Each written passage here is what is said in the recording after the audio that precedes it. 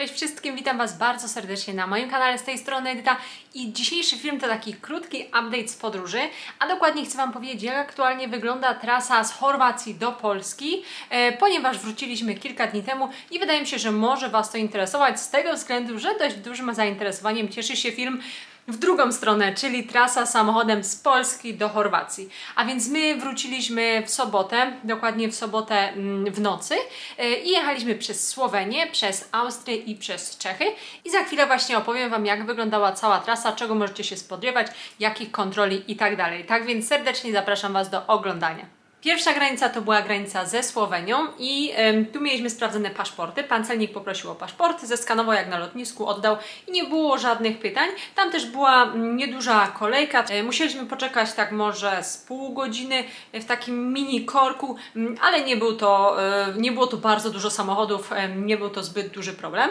E, kolejna granica to była granica z Austrią i tu o dziwo mm, były wyrywkowo kontrolowane samochody.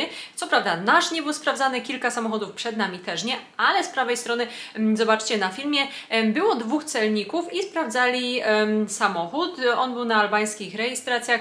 Nie wiem, jaki był powód, y, że akurat ten samochód był sprawdzany, czy ze względu na rejestrację, czy no, no nie mam zielonego pojęcia.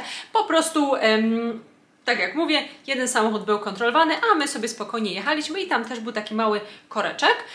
Kolejna granica to była granica z Czechami, tam nic się nie działo, przejechaliśmy swobodnie. Mm, tak naprawdę, gdyby nie znaki, to nawet byśmy nie wiedzieli, że była granica. I już ostatnia z granic e, to granica z Polską.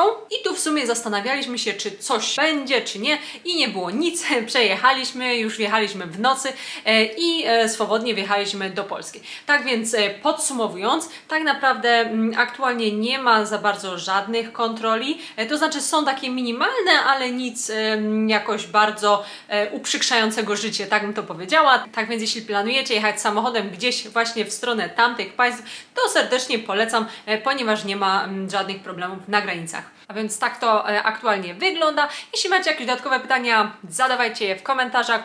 A ja się będę już z Wami żegnać, ponieważ miał być to taki krótki update z podróży, tak żebyście wiedzieli, co się aktualnie dzieje. Powiem, że wiele osób jest tym zainteresowanych. E, oczywiście możecie zostawić lajeczka, jeżeli uważacie, że ta e, informacja była pomocna i polecam też subskrypcję mojego kanału, dzięki czemu będziecie na bieżąco ze wszystkimi nowymi filmami. E, a teraz już było wszystko. Bardzo serdecznie Was pozdrawiam i do zobaczenia następnym razem. Pa!